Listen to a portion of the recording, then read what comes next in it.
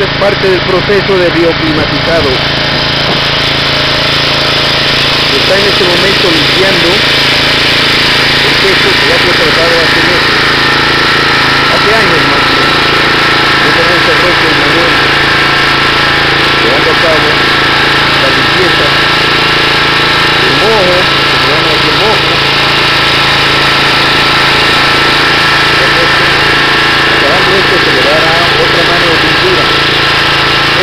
Thank.